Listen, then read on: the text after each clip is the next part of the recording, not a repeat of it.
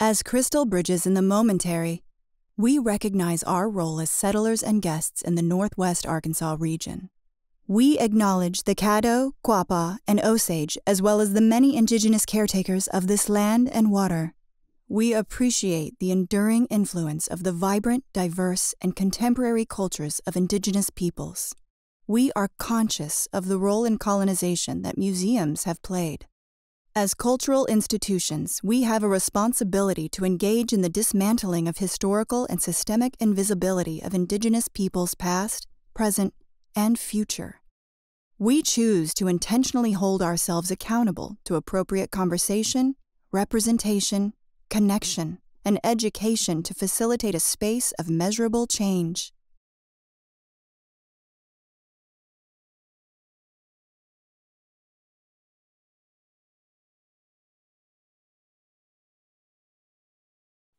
Hi, good afternoon, everyone. It's so good to see you here for our virtual talk and demonstration. Uh, my name is Moira Anderson, and I am a part of our public programs team here at Crystal Bridges. This afternoon is a pretty special opportunity. Joining us from his studio is artist Steven Young Lee, who will be giving a demonstration and talk on his work. Um, I want to, of course, uh, let you know that this opportunity wouldn't be possible without our generous sponsors of the Spotlight Talk series. So uh, I'm going to take a moment to thank Del Monte Foods and Pure Gold Price Club for their ongoing support of the museum programs. Thank you. And whether you're joining us over Zoom or tuning in through Facebook, we're so happy that you've uh, joined. And we want to make sure that you have the opportunity to interact with Steven uh, throughout this afternoon and the demonstration. So here's how things are going to go.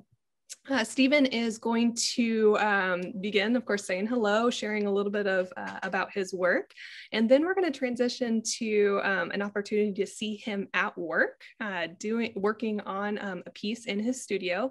Um, he'll be describing a little bit about this process, um, and we'll be having a conversation throughout that time. Um, but we want to make sure to leave room for you to ask questions, and I will be reading him anything that you'd like to submit in real time. So if you'd like to type out any questions that you have using the Q&A button, if you're here over Zoom, or feel free to type them in in the comment section on Facebook, I'll go ahead and uh, leave some time to read them as they come in. Um, while you're on Zoom, if you want to take advantage of our live captioning, uh, we are providing that this afternoon through the CC icon bar uh, located on the bar at the bottom of your screen. Um, if you'd like to turn them on, you just click the button and select the option to turn them on. Uh, I'd like to share a little bit of uh, a little bit on Steven um, before I turn things over. Steven has been the resident artist director at the Archie Bray Foundation for the Ceramic Arts in Helena, Montana since 2006, and he's had extensive career as a speaker and educator nationally and internationally. Between 2004 and 2005, he lectured and taught at numerous universities throughout China as a part of a one-year cultural and educational exchange. Then he went on to be a visiting professor at Emily Carr Institute of Art and Design in Vancouver.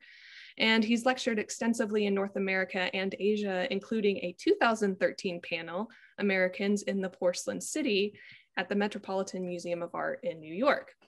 In 2013, he was one of several international artists invited to participate in New Blue and White, an exhibition at the Museum of Fine Arts in Boston that featured contemporary artists working in blue and white tradition of ceramic production. His 2020 work, Vase with Dragon, is included in the current Crystal Bridges exhibition, Crafting America. And I do hope that you all get the opportunity to come and visit and see it in person if you haven't done so. Steven, welcome. I'm so thrilled to that we get to see you this afternoon in your studio space. Thanks so much for having me. Um, this is the first, I think this is the first uh, virtual studio visit I've done as well. So um, I'm excited to be able to share a little bit of what, you know, what I've been working on and um, hopefully be able to talk a little bit about some of the, you know, the techniques and processes and then the, the content and, you know, um, thought process behind the work. Um, so for any of you who are, are tuning in, feel free to, to put any questions for it. I'm happy to answer pretty much anything. Um, and I can multitask fairly well, so I can work and answer questions as needed. Um, but I was thinking, you know, maybe I can start by, uh, I could show a little, I could show some photos of the piece that that uh, um, is in the exhibition at, at Crystal Bridges, which I've, I'll say uh, also, I'm just so thrilled to be part of this exhibition that um, Glenn Adamson and Jen Padgett put together and feel very honored to um, have my work included with such an amazing group of artists and craftspeople across America. Um, and I had every intention to be at the opening. Uh, obviously, that you know our plans, many of our plans have changed, but Crystal Bridges has always been on my bucket list of places to visit, and it seemed like the perfect time to come down. Um, maybe that'll still happen before the the exhibition closes. So, um, but I will share my screen here, and I'll show. Um, let's see here. So this is the piece called um, Vase with Dragon and Clouds. And these are images that I was able to take here in the studio in our uh, photo setup. Um, and I normally document these pieces, so I have a almost like a 360 view of it.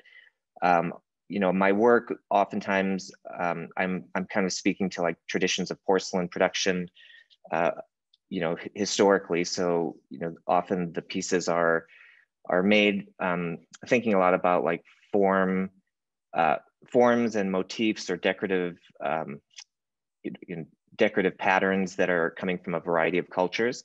Uh, very often, you know, they they end up um, referring back to like you know Chinese history or porcelain history or Korean porcelain history, um, but as what also European history. So it's you know, and I think that kind of tracks with what happened uh, you know, as porcelain was being discovered and then blue and white production was happening is like the, the way that the information kind of translated through these objects um, as they moved around the world. So I, I just find that so fascinating, like that record and the, the time and the information that was being passed. Um, so this vase form is what, you know, some people refer to it as like a baluster vase, you know, which is a, you know, it has a, a kind of a longer neck uh, and a flared rim with a, um, rounded shoulders and then a, a, base, a more stable base.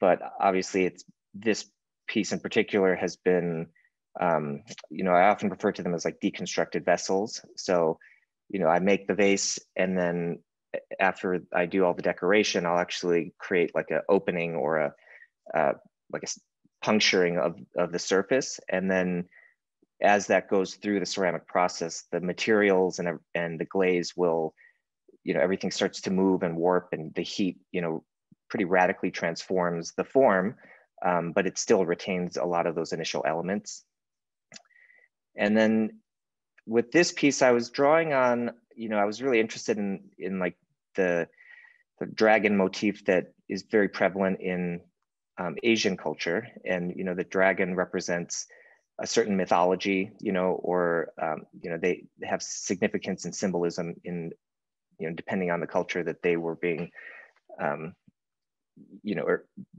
depending where, like which culture was sort of like utilizing it. So this piece you can see like there's a more traditional dragon head, uh, which you might see on like a, a Joseon dynasty, you know, Korean vessel. Um, but then the body of it is maybe more akin to like Puff the Magic Dragon, you know, so there, I do like to have this collision between like historical and, and contemporary references um, and thinking a bit more about like how these objects exist in the current uh, current time.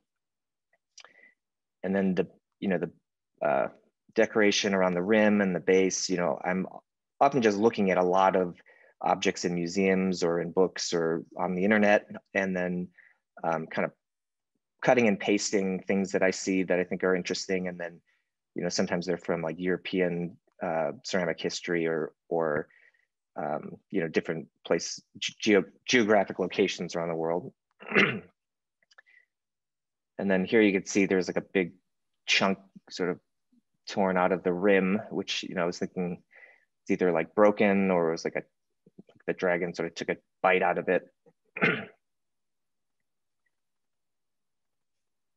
and then I did have some process shots as well. So this is the the piece as I was working on it, and this is you know over I guess over a year ago, year and a half ago.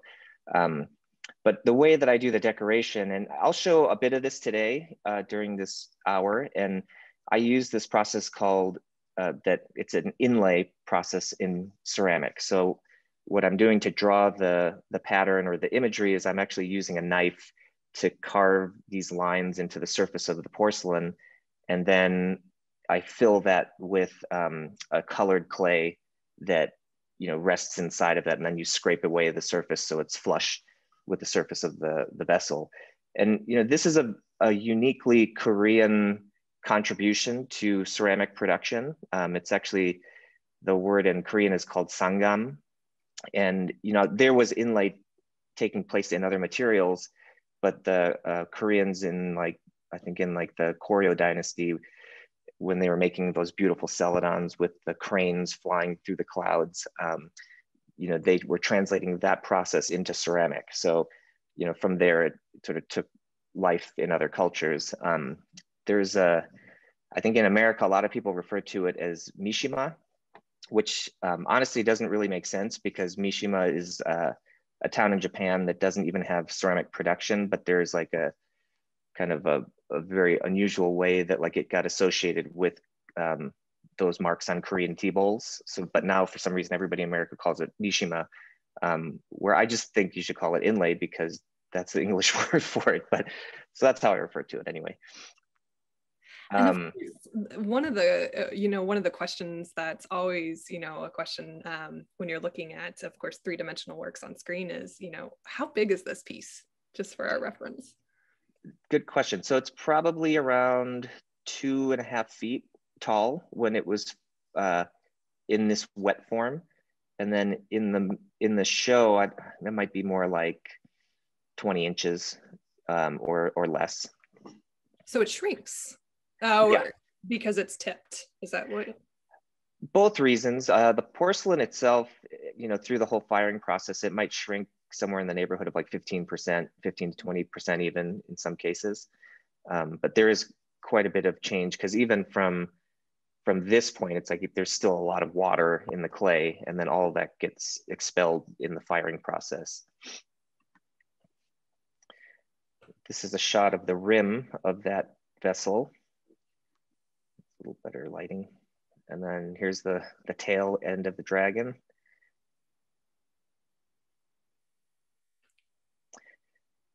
This is the dragon's head.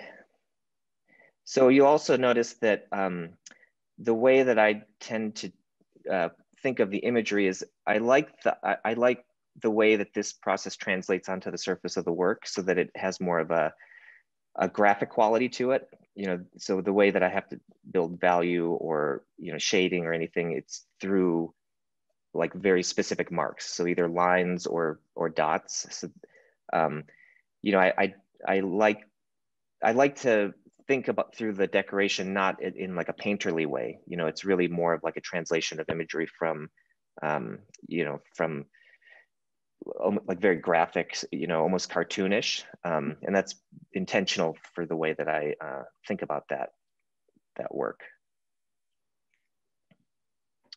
And then um, after I do the decoration, then I will put the piece into the kiln. Well, there's two firings. The first firing is called a bisque firing. So that's the one that gets the initial water out of the clay and then it'll stabilize the, um, the piece so that it's it's got a little bit of strength to it, but you don't fire it hot enough to lose some absorbency. So um, once I do the firing, I actually then sand the piece down and then I do the inlay at, at that point, and I'll show that today. And then um, then I glaze the piece, and it took me years to figure out how to glaze a piece like this that has a giant hole in it. But um, I essentially just like tape newspaper on top of it, and then I pour glaze inside of it and then pour it out and then spray the exterior surface with, uh, with the glaze. And then this is a shot of the piece, what it, the setup looks like in the kiln. So what I have here is the piece is fully glazed. Uh, and then I lay a bed of silica sand down on the kiln shelf. And that's because I'm never exactly sure like what's going to happen to these pieces when they go in the kiln. You know, I, I like to have that space for it to reveal itself to me, you know, and um, I mean, I have some sense of like what direction it might go in, which is why this is over in the corner, but I anticipate this falling forward. Um, and because of the, as the glaze melts and everything is like, um, is uh, sintering or, you know, the glaze the clay is moving, I lay this sand down so that it doesn't fuse to the shelf. And mm. that way I can, once it's, um, I can remove it from the kiln, then I go back and I cold finish like the surfaces and sand everything and polish it. I think, you know, I, would love to ask a question too while we're on this. I, am wondering sure. because you mentioned, of course, you never quite know what's going to happen to the piece once it goes mm-hmm. into the kiln. Um, but, uh, you know, what's your process of balancing that working between chance and planning when you're creating the piece? Well, I mean, it's a pretty central part of my of this body of work is that I'm I'm in a way kind of speaking to like the nature of ceramics and then also uh, the evolution of like my experience in this working in this material, which, you know, early on I was a, a potter, like a functional potter, and I would sell my work through fairs and, you know, it's for a specific market. And I used to always be very like, um, like one, I was really interested in like how flaws can completely devalue an object, you know, so if you have a cup that in and of itself is very beautiful, but then there's like a little like crack in the bottom. I mean, it still can function as a cup, but then that crack kind of like negates its use eh, or for the market. So you, have, you know, we'd throw it away, eh, or I would throw it away, and then we have to make another one. And I always thought that was so fascinating because there's this like standard of how the the thing can perform in the context that it's being, you know, sort of made made for, the audience that it's being made for.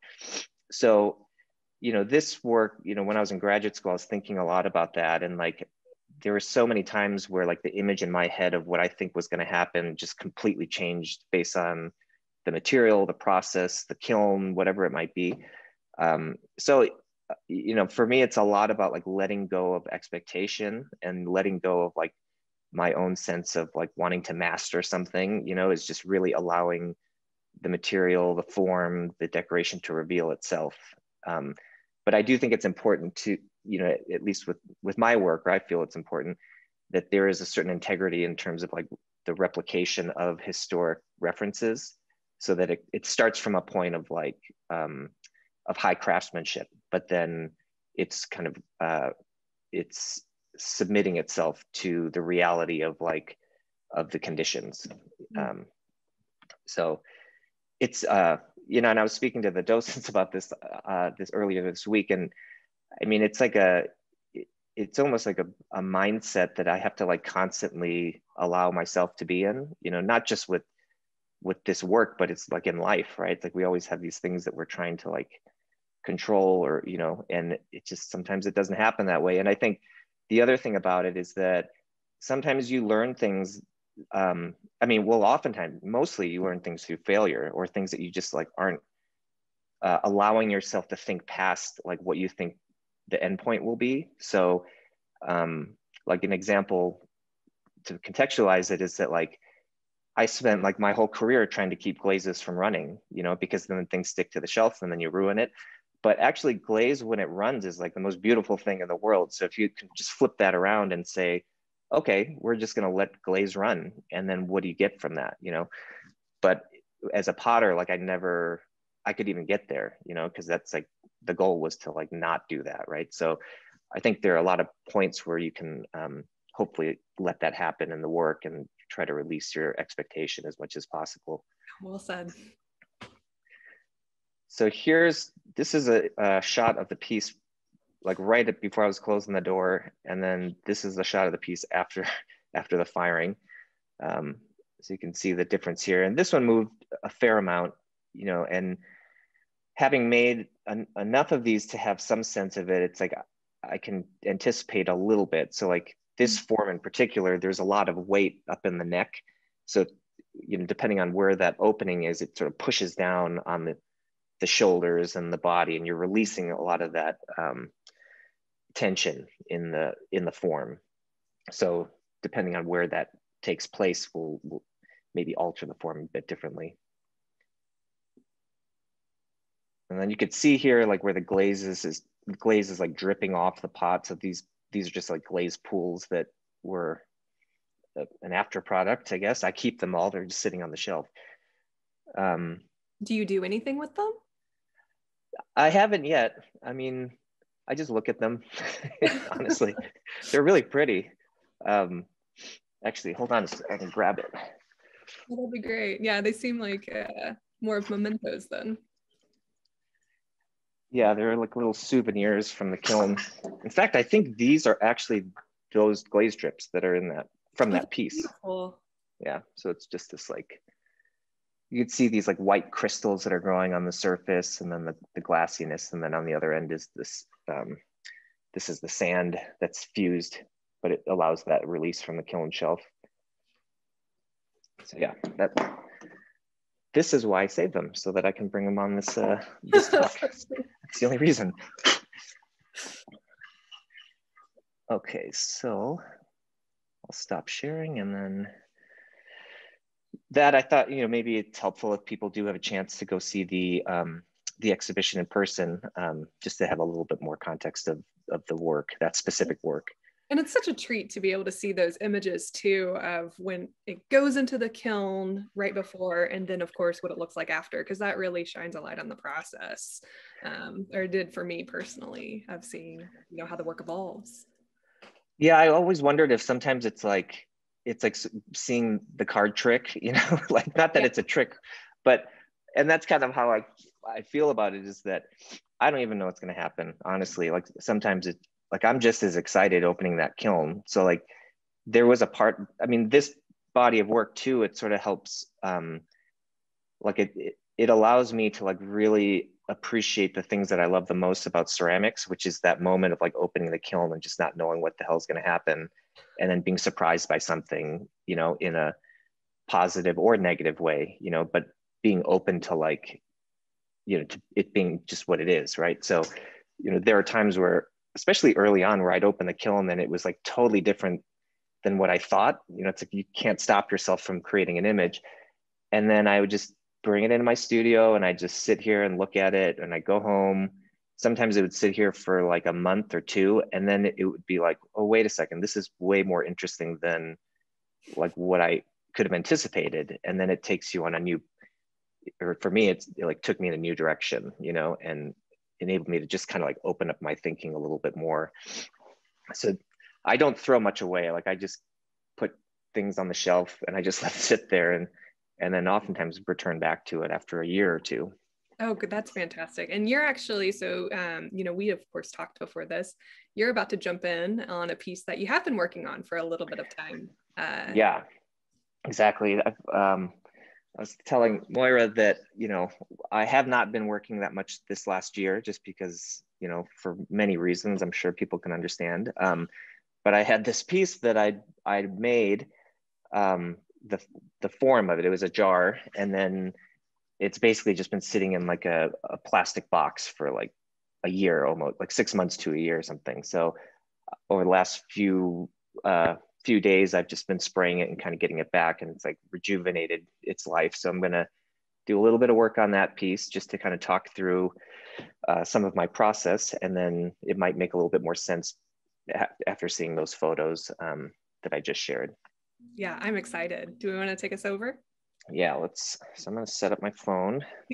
and on the way, we're going to get to see a little glimpse of uh, of your space that you're working in. Um, which seems like you, you do have a you know a lot of books a lot of tools other various objects within this area yeah let me give you a little pan panning of the studio so this is my studio space um, i've got like shelves of tools and materials over here that's the en entrance this is my main work table so i've got um, you know i usually do a lot of the decorating and glazing in this section and then over here, this is storage shelves and a bunch of, this area is a lot of like test tiles or just things, cups. I do a lot of testing on cups to kind of see how things will turn out, um, different glazes.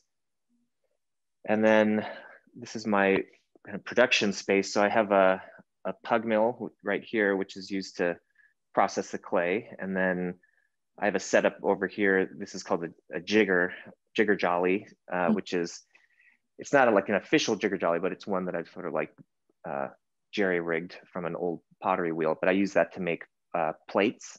It's like a more efficient way to make a lot of plates, um, either for uh, functional use or I've done a series of these uh, plate wall installations, which is you can see this is like a Tony the Tiger maquette. oh yeah, uh, right, right there. um, and then this is kind of the main working area for my wheel and um, it, it looks complicated, but it's actually, it, it's this contraption here that my wheel is sitting on, it's actually like a lift. So I can raise and lower the height of the wheel head.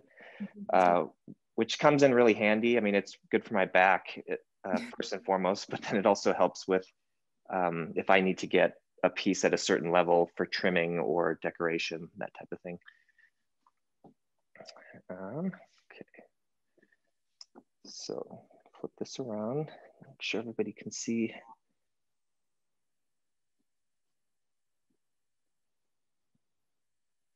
Okay, is that a decent view? That's great. Ah, the reveal. That's yeah, the reveal.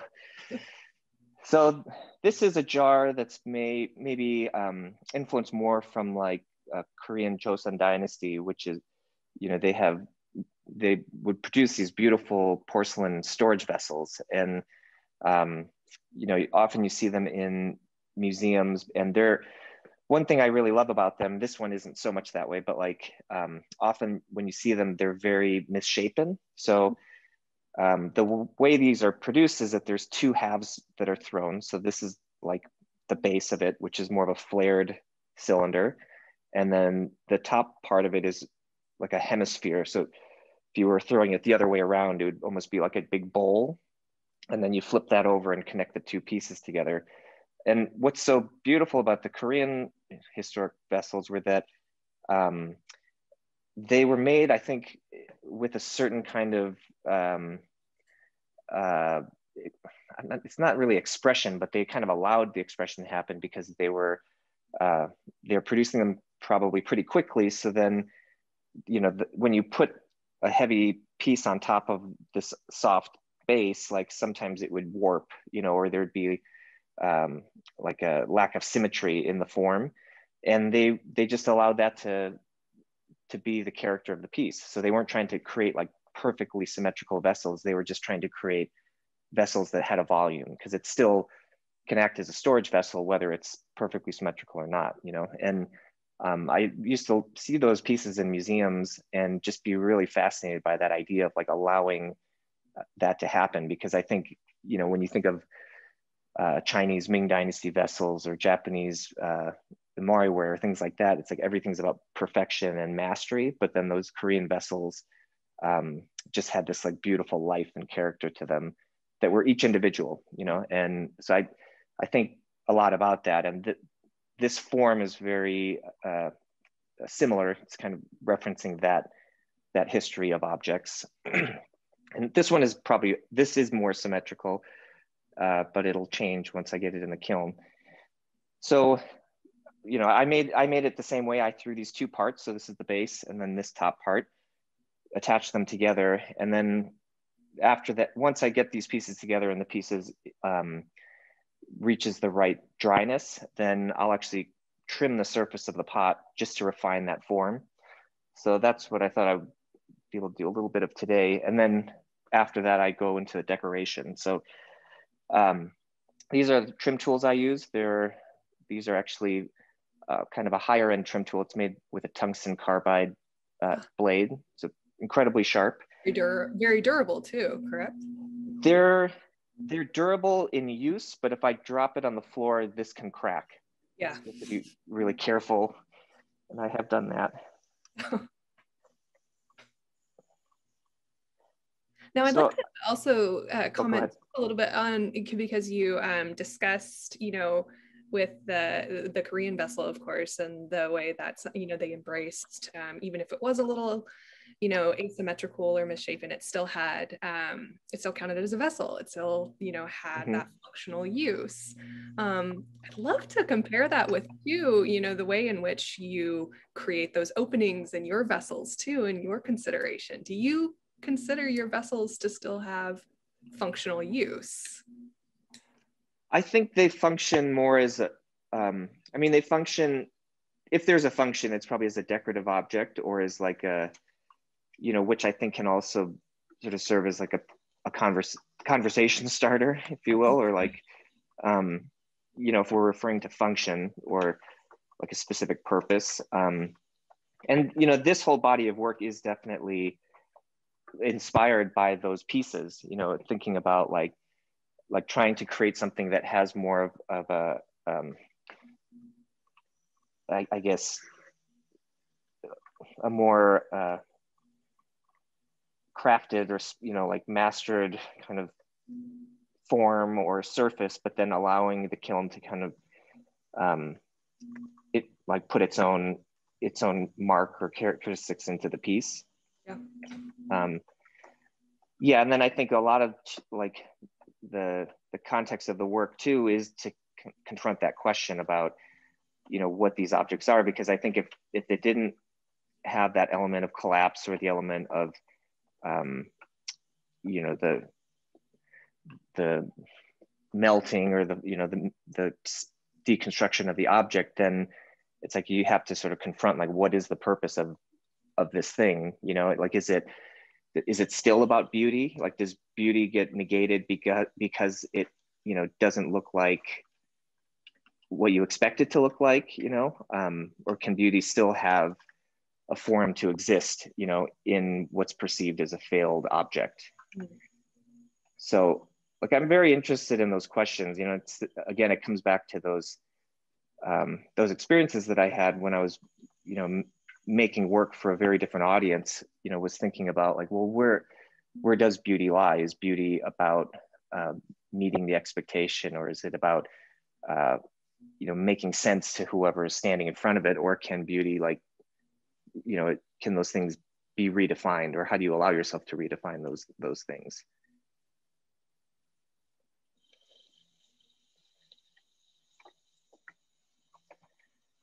So I'm not taking a ton of clay off of here, just enough to um, maybe even out the thickness of the wall just a bit.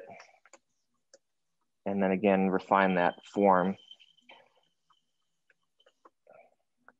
And I also use these, uh, these are like metal ribs, we call them, but they're like thin pieces of metals to help shape, shape the clay. And then I use that to do a final skimming of the surface. It's incredibly satisfying to watch. it's very, for me too, it's very nice.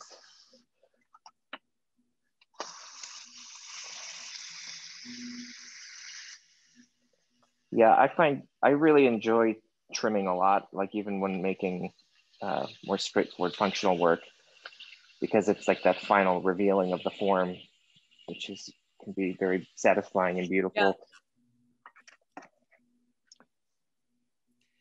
So, Steven, tell us a little bit about your origin story as an artist.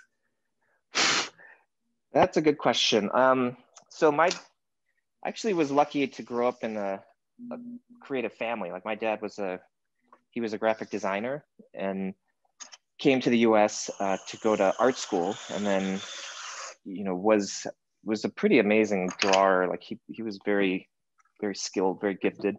My mom also studied art uh, in college. She didn't pursue it full time, but um, you know she had a lot of skill and ability.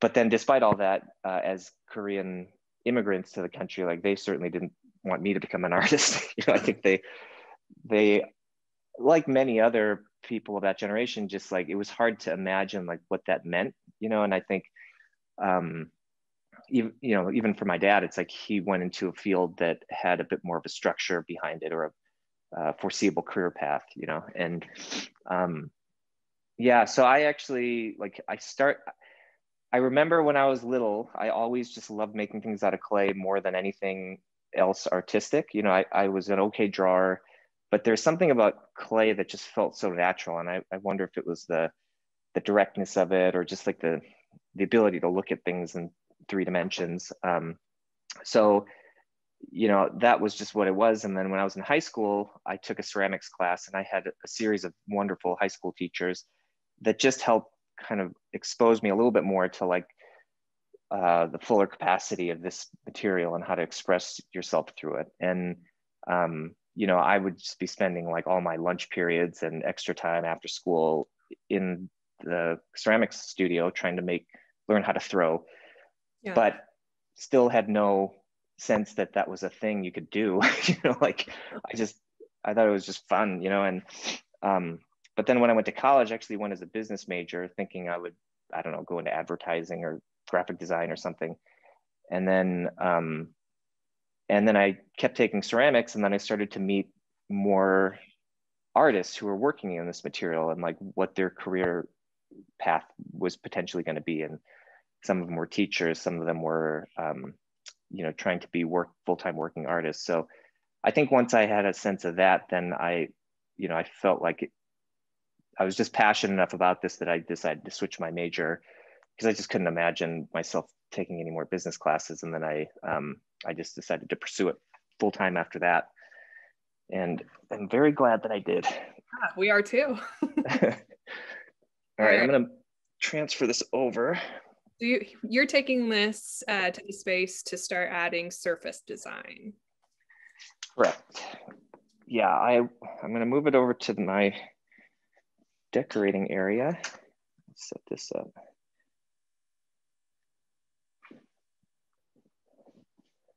Okay.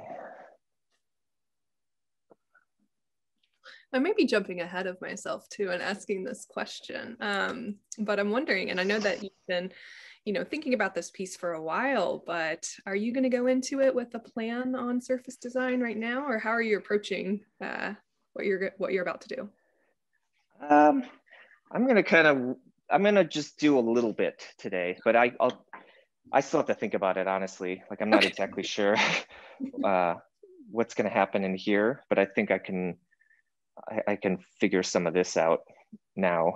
Um, and if it doesn't fit later, I can always uh, I can always do it over. Um, so I I'll talk a little bit maybe about how I planned through some of that. Um, see here. Yeah, because I was wondering if this is typical for you as far as when you're approaching about, you know, to do your surface design on works. Do you typically start out with a little bit of um, of a moment to, you know, play around and then let things emerge, or do you have a starting point that you like to go with? I usually, I usually plan it out to some degree. Um, I'll show this.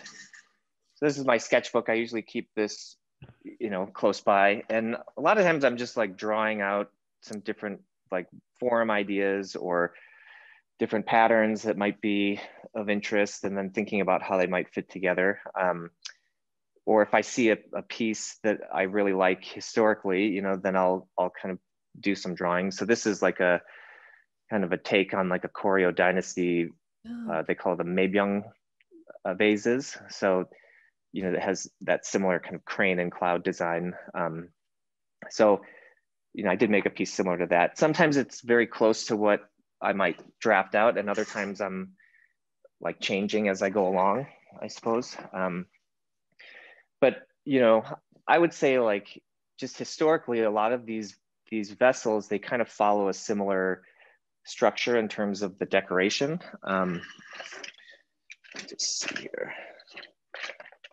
grab my pencil. So, um, you know, there are often like, like there are kind of sections that decoration can exist. So it can be on the neck, you know, could be hanging off the shoulder, uh, can be rising up from the foot. Mm-hmm. Um, and then what happens in this kind of main space can be can differ, right? Like you can have a pattern that repeats itself. So maybe there's like a um, like a peony, you know, that has a certain way that the vines are going through, but it's repetitive and can be um, can be kind of spaced out and like uh, laid out in a certain way, or like those cranes, you know. So the cranes were following a pattern where there's like a circle, and then the crane existed in the circle.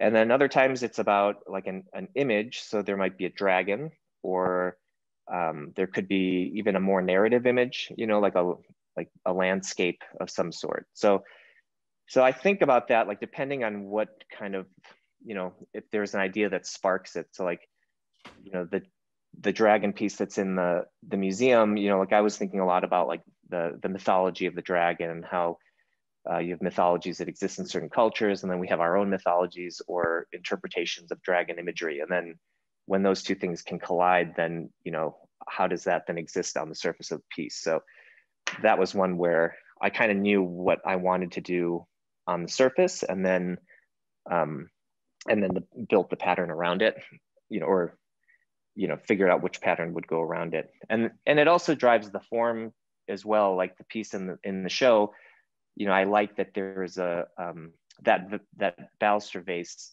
you know, kind of exists in both Asian and European culture. You know, so it's not as specific as like say like a um, this Joseon dynasty uh, uh, base or jar form. So I'm often like thinking about like how those layers of um, source material are are existing and coexisting on the work. so here, what I was thinking I could do is, um, how well you can see this, but I'll, I'll, there are some motifs in pattern that um, I've often seen to refer to as like hanging decoration or, um, you know, as I mentioned, like some are kind of rising up from the, the base.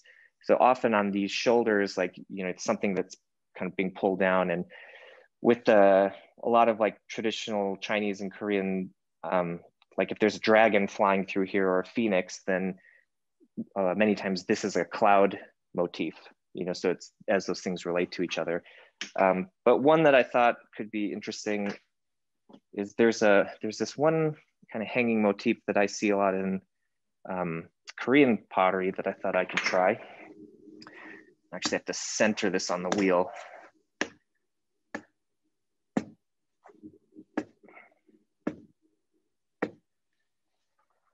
so this is the tool that I use. It's it's like this kind of like when you go to art school, they sometimes give you this little starter kit for carving linoleum or wood. Yeah. Um, it's really simple. I mean, people think I have some kind of magic tools or anything, but it's just this little chisel tip. Uh, I use this probably for like 95% of the drawing. I love that. Um, and, you know, and it, I had this question the other day from the docents about whether I like freehand all the decoration or if I um, have some process. And I'd say it's evolved over the years where, you know, I, at the end of the day, it's all like drawn, but then I do have a process of like setting up registration marks to uh, confine like where the drawing is going to be. And then I can boundaries. Yeah. So like this tool here was life changing for me, but this is something called a a decorating disc. So oh, it's basically just like a clear piece of acetate that has, you know, like an odd number. So if you have to divide a circle into fifths or sevenths or ninths, and then this one is even. So it goes like from four to 10. Uh, I didn't use these things for probably like the first three years. And I was just like winging it. And like, this has saved me so much time. It's like, I can't even believe it. I can imagine. um, so I'll often, I'm putting the even one on here. So what I'll do is I'll kind of follow down and see if I start here, the 10th would be there. So that's the width. This is the width of whatever the motif would be. And it's kind of small. So I'm gonna go to the next one and I'll go to the eighth which seems about right for the motif that I'm going to do, which is uh, similar to this one here. You could see. Oh yes, this yeah. hanging, kind of hanging motif. So I just gauged that, and then, um, oh, I guess I got to draw them all. So I'll go around. and then I'll just hit all the eighths.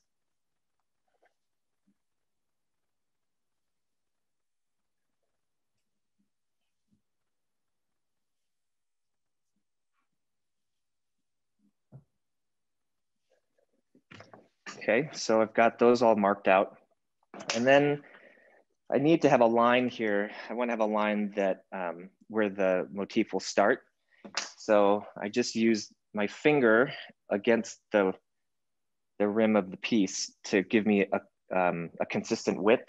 Hmm. You can't totally see this here, but this was like a woodworking trick that someone had taught me once.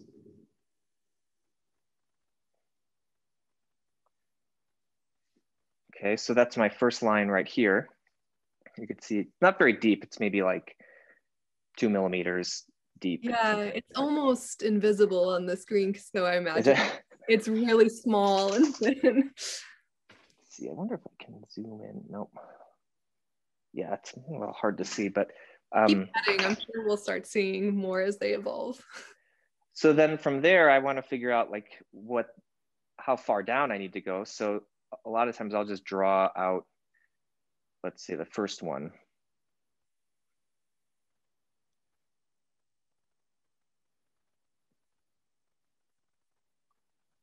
Okay, so can you see that? A little right bit. Yeah. Little bit. Here, maybe I, I could show it a little closer. Okay. There we go. That better? Yes. So that's just like a rough out of the first, um, the first one. And then let's see if I can be able to get this thing a little closer. Hold on one sec.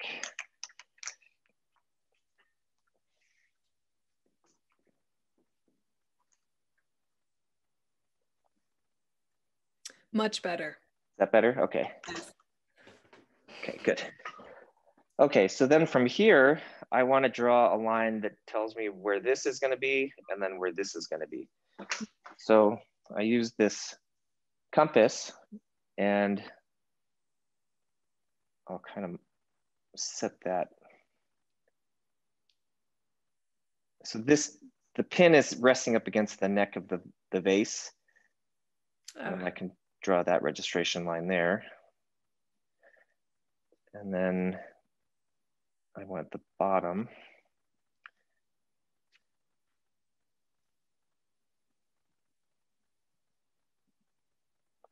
And this is just a soft lead pencil, so this will burn off in the firing. And then the last thing is that I'm trying to, I'll just eyeball the middle point between these two. So I'll go around and just mark that.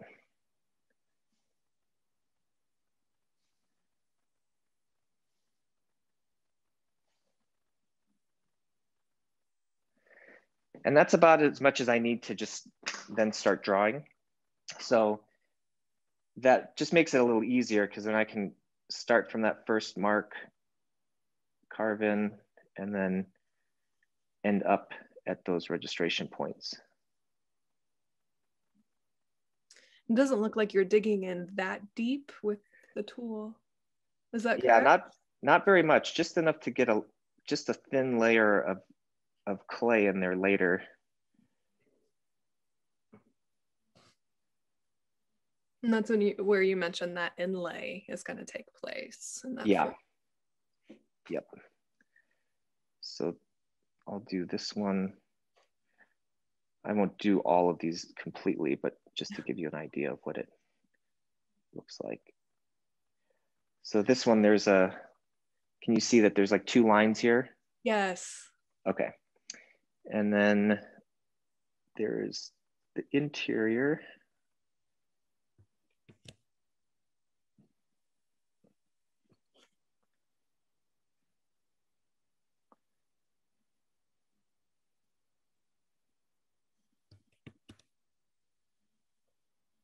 I feel like we're uh, in class with you almost. That's right. Everyone go back and make their own yeah their own vessels you know and i do think that um, especially since um, you know part of part of your life is also um, a, a, teacher an instructor too.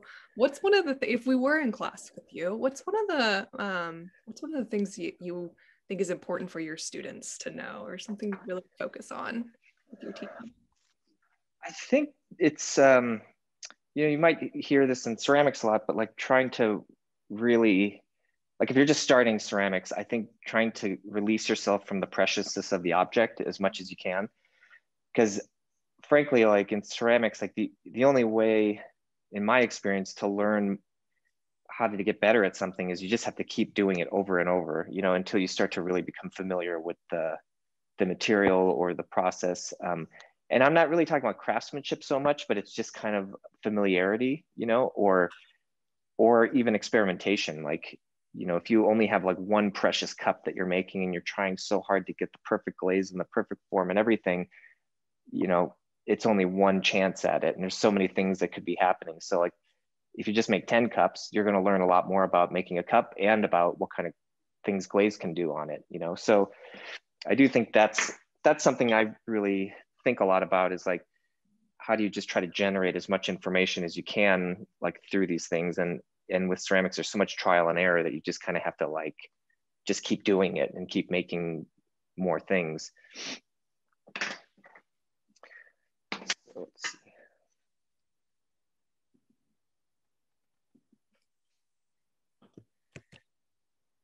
This isn't the most exciting part.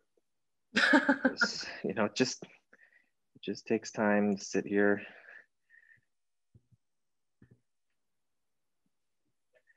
But this is essentially how what happens. And um, I guess the other part about this work is that you'll notice like everything's still pretty wet. So like I have to, you know, keep this fairly wet so that I can do all this decoration. So then um, I need to finish all the decoration before I can then create, like start to break apart the piece to make the opening. And then at that point, I can put it into the kiln, let it dry and put it in the kiln for the first firing. But, um, you know, once I kind of lay out the pattern, the decoration and the surface or whatever is being drawn on it, um, I have to just keep going until it's done. So I usually have to commit a couple, two or three days just to like uh, powering through it and right. then letting it, letting it dry out. But yeah, so that's that's what that part of it looks like. Um, I'm just gonna put this aside here real quick. So I have this piece. This is a this is a vase that I actually end up having this big crack in the bottom of it, um, but I thought I could show the inlay piece of it. So you can see here I've drawn this like repeating pattern, which is um, inspired by a, an old Chinese uh, Chinese vessel with iron decoration on it. Mm-hmm. But I just love this like repetition of this um, this kind of darted uh, leaf shape. So you can't totally see it, but like the carving with the knife creates this raised edge because yeah. the the knife sort of pushing that out. Um, so I actually go back in and I'll, I'll just sand that flat.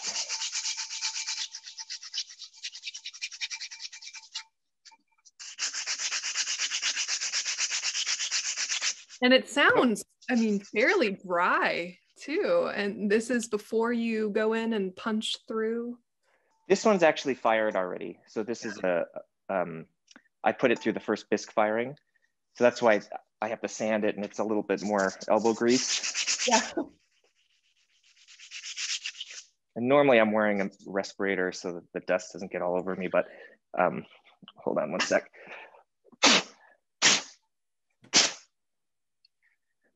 So then I sand it and then I have to blow out all that sand that gets, or the mm. material that gets stuck in there. Um, which I normally use like an air compressor in a ventilated space. And then this is my, my bucket of slip. So this is actually, even though it looks green, it, this is a cobalt blue slip. Um, it has a little bit of chrome in it, I think, which is why it has that green coloration.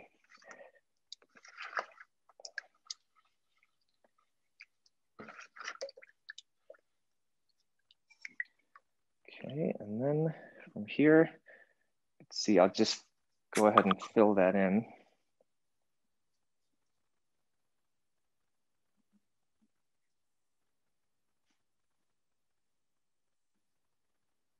So you cover the entire surface. Yeah. Yeah, and I, this isn't the traditional way to do it. I mean, I think traditionally, um, all this happens when it's still uh, when it's still leather hard. You know, sure. they'll uh, do the carving and then just fill it in and then scrape it off. Um, I don't know. I kind of developed this, I guess, just specifically for me. It works for what I do because um, one, I didn't love the dust from the scraping it all greenware, and then the other is that um, this makes it easier to handle some of these objects, and then it it's also very satisfying to just scrape oh, off wow, the yeah. clay. and I could save this clay, which is good, like, or this slip. I'm just scraping it right back into the bucket. I think this is what we've been waiting for. okay,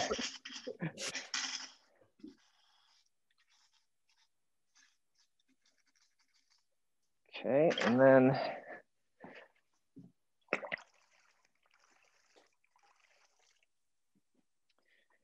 and this is a, just a damp sponge.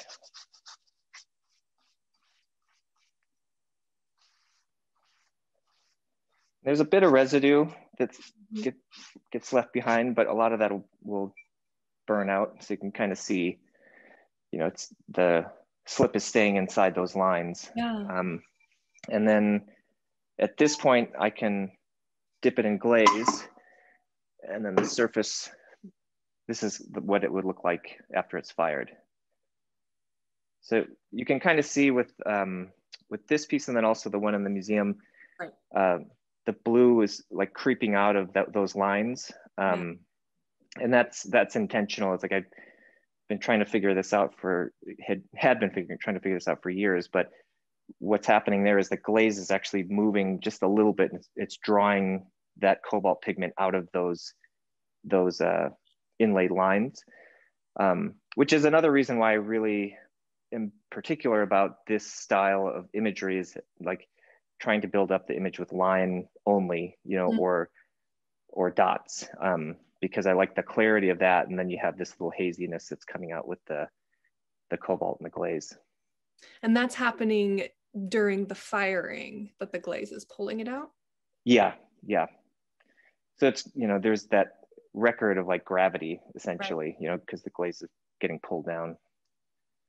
So yeah, that's what the these are like what the function my functional pieces look like like this is a, a cup, teacup kind of thing.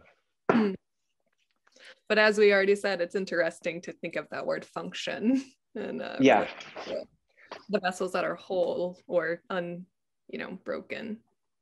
And I even hesitate to use that word broken too. right. Yeah, when I first started making this work, it was funny. Um, even here around the studio, I'm going to shut this camera down. Um, you know, like I'd be rolling these pieces down the studio hallway and, and like the other residents would be like, oh my gosh, I'm so sorry. You know, like, like just thinking it was this explosion of failure, you know, and, and right.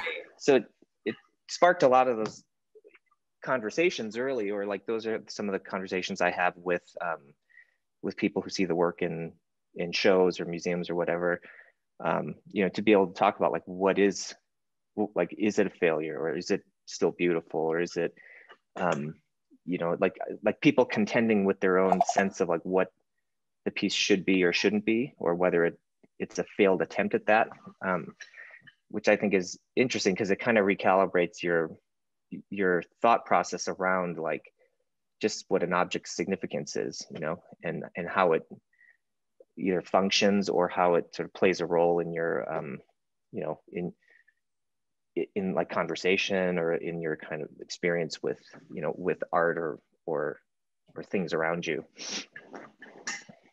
Phenomenal. And you know we're coming towards the end of the um, of the hour which has been such a treat but i wanted to know if you wanted to end with just some really fun rapid fire questions just to conclude. yeah sure.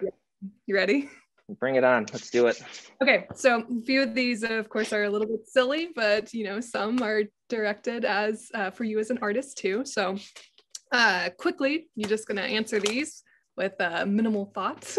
Okay. Um, coffee or tea tea tea i okay. don't like i don't like coffee at all okay favorite color blue. I know that sounds cliche, but blue is my favorite color. It was expected. Okay. Uh-huh. Um, what would be your desert island book? Oh man, I thought you were going to ask me my desert island meal. Um, desert island book. Oh gosh. I don't know if I have an answer to that one. That is that's a tough one.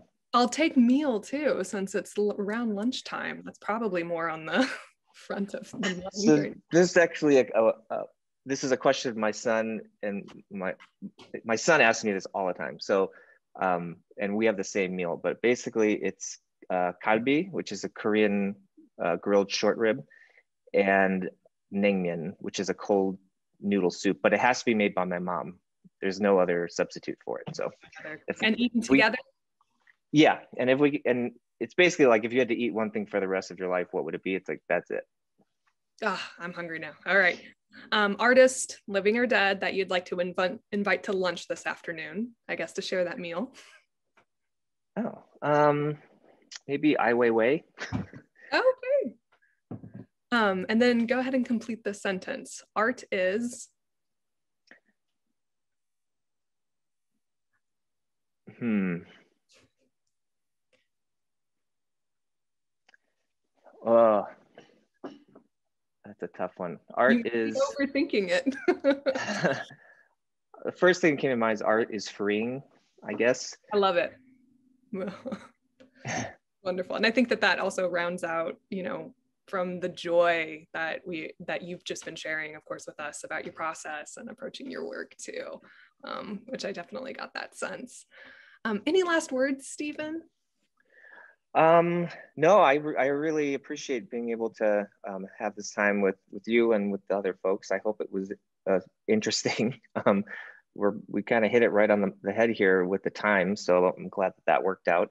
And uh, yeah, I hope everybody gets a chance to go see the show or engage with it virtually if you can't be there in person.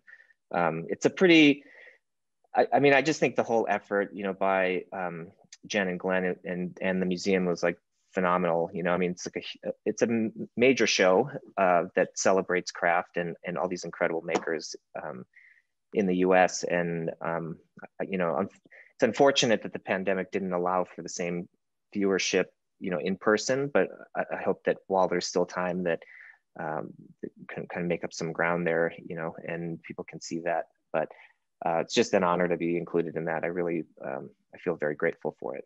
Absolutely. And you know, it was such a such a treat to be able to see you at work in your studio and talk with you this afternoon as a silver lining maybe to this virtual world that we're living in right now. It was so great to have this opportunity to connect and I had a blast spending some time.